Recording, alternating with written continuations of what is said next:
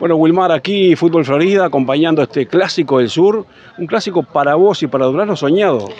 Sí, creo que en lo personal muy contento porque me toca compartir, pero me voy más contento porque éramos, teníamos que ganar, no había otra, los clásicos se ganan, más acá con nuestra gente, la que siguió confiando en nosotros, y bueno, un partido, era un partido duro, me toca en un momento clave y, creo que hago dos goles en, los momentos que teníamos que pegar y, y por suerte logramos los tres puntos. Aparte de la responsabilidad también de ingresar por Agustín Monzón, futbolista que todos sabemos, delantero neto, ¿no? Sí, sabemos lo que, lo que es Carita. Eh, está peleado con el gol, pero ya se le va a dar. sabemos que es un goleador nato. Bueno, me toca, me toca entrar por él.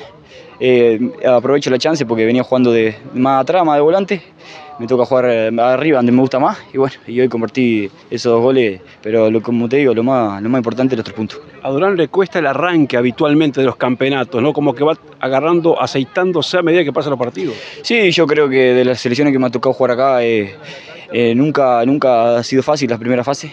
Sabemos que, son difíciles, los primeros partidos, todos los rivales estudian, pero a medida que, que el jugador de se va, se va contagiando y va agarrando fútbol, creo que, que siempre, siempre está definiendo. Bueno, aprovechar a toda la red de Fútbol Florida con Jorgito Benoit para mandar algún saludo a alguien en particular. Eh, bueno, un saludo a la gente de, Sarandí y que siempre me está apoyando, a mis viejos, a mi hermana, a mi sobrino, a papá sobre todo también, los abuelos de mi novia que siempre me escuchan, para, para precisamente para Saracho Danubio Sequeira que, que se fue hace poco, es uno de los, de los que me, me vio iniciar en el fútbol, para el otro ángel que tengo en el cielo y bueno, y para, para toda la gente de. Nos vamos con la imagen de Jorge, de este ángel ¿eh? que siempre luce ahí, Wilmar Vares.